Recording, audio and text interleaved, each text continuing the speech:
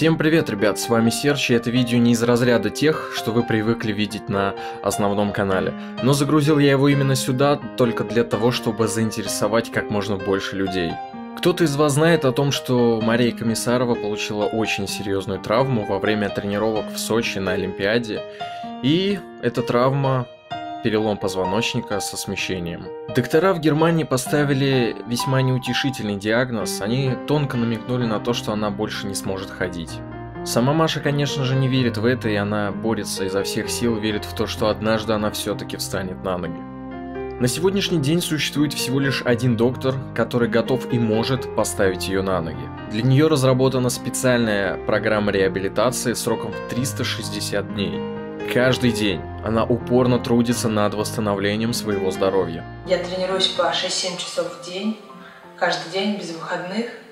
И за 6 дней я вижу положительную динамику. То есть э, у меня начинают включаться мышцы ниже травмы, какие-то новые ощущения появляются.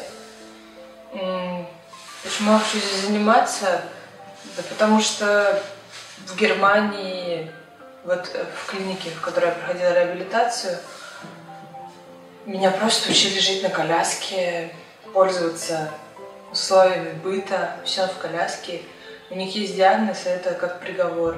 Небольшая загвоздка в том, что вся эта реабилитация стоит 27 миллионов рублей. На сегодняшний день осталось собрать всего лишь 5,5. Совсем не важно то, кто сколько перечислит, важно то, что вы не останетесь в стороне и совершите добро.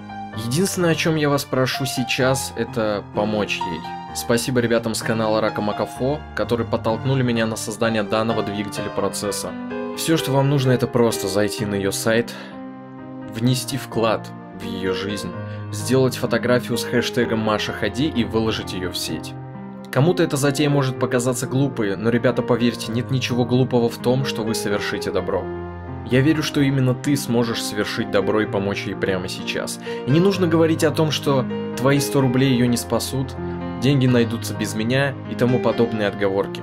Так рассуждают многие, но я верю, что ты не из числа тех людей, и ты можешь просто встать и сделать. Соверши добро. Спасибо за внимание.